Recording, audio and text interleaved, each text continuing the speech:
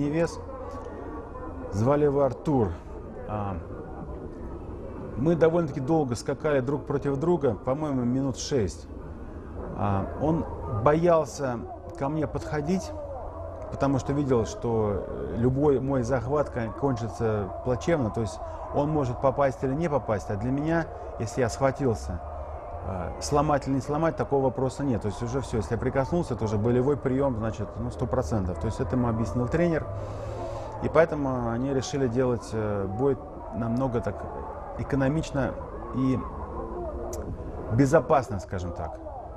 То есть он не делает движения насчет меня, он пытается вы, выменить э, меня на, на себя. Я это, естественно, понял. И старался так э, аккуратненько как-то к нему подойти.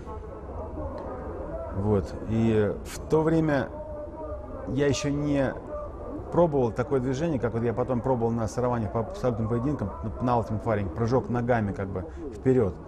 Это потом я уже научился ногами работать как руками, я мог, ну, как обезьяна, то есть прыгнуть ногами вперед любому, любому боксеру и стащить его в партер, а в партере как бы я уже был король.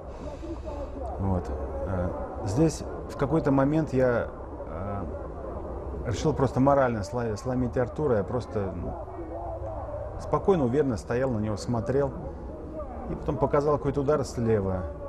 Он среагировал, я вправо прошел к нему ноги, сделал перекат, и тренер его был, естественно, уверен, что я сломаю руку, и быстро выбросил полотенце. Я жутко тогда расстроился, потому что мне очень хотелось